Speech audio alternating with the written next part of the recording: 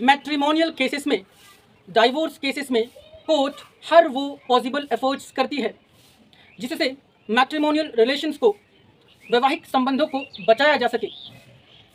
Courts कभी नहीं चाहती हैं कि हस्बैंड वाइफ के बीच मैट्रिमोनियल रिलेशंस को डिसॉल्व कर दिया जाए, ख़त्म कर दिया जाए।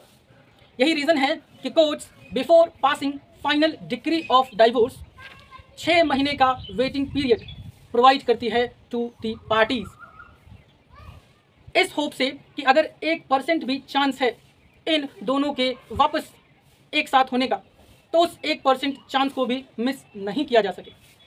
हाउएवर अगर डाइवोर्स के जो पिटिशन्स हैं, वो पिछले सात, आठ सालों से पेंडिंग में हैं, और वो डाइवोर्स पिटिशन अब डाइवोर्स बाय म्यूचुअल कंसेंट में कन्वर्ट हो चुका है, यानी हस्बैंड एंड वाइफ ने म्यूचुअली अग्रीड करके डाइवोर्स बाय म्यूचुअल कंसेंट का पिटिशन कोर्ट में प्रेजेंट कर दिया है।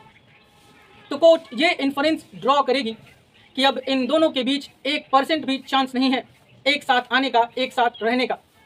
तो कोर्ट उस छः महीने के वेटिंग पीरियड को बिफोर फाइनलाइजिंग और before granting the final decree of divorce उस छः महीने के वेटिंग पीरियड को कम कर सकती है।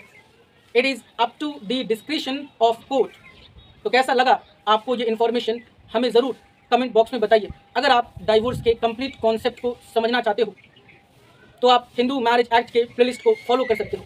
अगर आप इस वीडियो को इंस्टाग्राम पर देख रहे हो तो आप मेरे पेज को फॉलो कर सकते हो।